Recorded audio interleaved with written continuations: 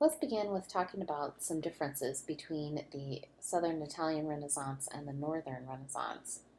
This is a good diagram for understanding how they differ. And I mainly want to talk about, with the altarpieces we're going to talk about today, um, the difference in the detail.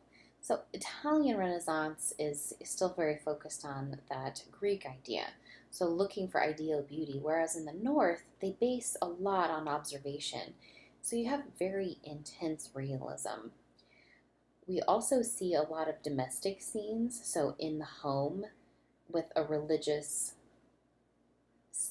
a religious subject matter. We're going to talk about altarpieces in this video. And just to give you an idea, some altarpieces are small and can be folded up and carried away, but some are really big. This is actually my niece who is standing underneath one of the altarpieces on the left, and it is huge. So that one is not easily carried about. However, Robert Campin's uh, Mérode altarpiece, this is the Annunciation Center panel, this is a small panel that can be folded up and carried away.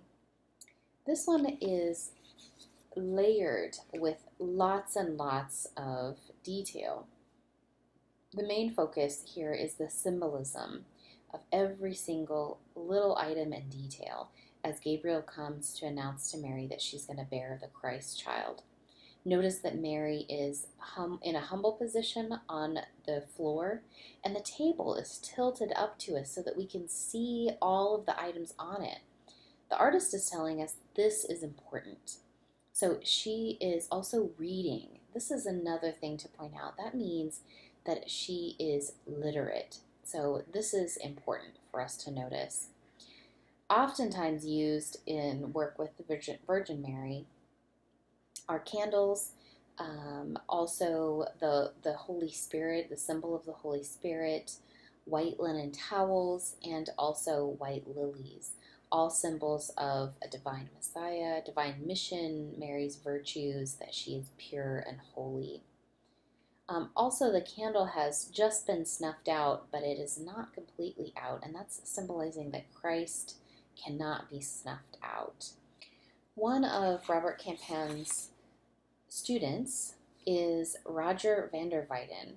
And this isn't necessarily an altarpiece, it doesn't have panels that open and close, but I just wanted to show you the difference of space. Notice how everything is very shallow and it's a very theatrical stage. There's a lot of emotion. This is called the deposition because Christ is no longer on the cross, um, he is being taken down from it. So, this is the actual motion and movement of people carrying him and taking him down from the cross. And then notice that Mary is kind of mimicking his same position as she is falling down and feels his agony. One of the most famous and large altarpieces is Jan van Eyck's Ghent altarpiece. The main focus with this is the Lamb of Christ. So everyone is kind of centered around that. Uh, we do have Adam and Eve on some of these side panels, and I just want to point out that they are actually life size. One of the things that is interesting you want to pay attention to is that these frames are actually being made by artists. So it is very much a craftsman's skill to be able to work with wood, to be able to carve out the inside where you could paint on it. So the artists are actually making these frames, and I love the attention to detail here where Adam's foot is raising up above and is kind of resting on the frame. So Van Eyck is very purposefully incorporating this this human figure, the foot, as a part of the the frame. So seeing artists kind of work with the frame as a part of the artwork is neat to notice those details. So the main piece here, uh, where we see Christ uh, symbolically as the sacrificed lamb. This is the the main point. This is the main thing. This is the driving reformation also that happens and is birthed in the north. So this is important to note. A lot of these things, these artworks and artists, they know what's going on. They're not living in a bubble, and they're laying the foundation for the Reformation. Um, the Word of God and Christ being the main focal point uh, unlike we see in the South with the Catholic Church. The last artist that we want to talk about is a master woodworker. He was also uh, able to work with stone, but he worked a lot with wood, and his name is Tillman Tilman Schneider, quite a last name. Riemenschneider is how you pronounce that. He is a master at woodwork. Remember, in the north, there's not a lot of quarries, so we don't have an extensive marble um, for sculptors to use. So, wood was something that was a lot more readily available, it was less expensive, and he's one of the, the great wood sculptures in this area, and one of the last ones, actually. This is the one that I really want to talk about. This is the Holy Blood altarpiece in Rothenburg, Germany. This is a beautiful example. And notice that our subject matter is different. Um, it's not an interior uh, uh, scene in a home uh, with the Annunciation.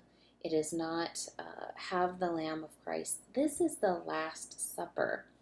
And we're going to see a lot of Last Suppers. And this one is just so unique. I wanted us to really study and look at it. Uh, notice how detailed and intricate it is. There's lots of different pieces and it does have those panels that close. This one is so unique because it has movable parts. It really is like a stage, like a play. Notice the windows that are in here behind our table and all of our disciples. These are actual real windows mimicking the real windows in the location where it is at in a church. So this is important to understand context we aren't looking at this in a gallery setting. This is meant to be seen in a church and it has real glass behind them. Um, notice all the individuality. The features on each person is different. Notice the detail. Again, this observation is showing us what Northern artists can do.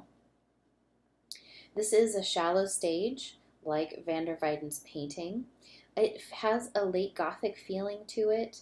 Um, there are late Gothic carvings up, up, at the top, but notice all of those natural details um, where artists are looking at the world.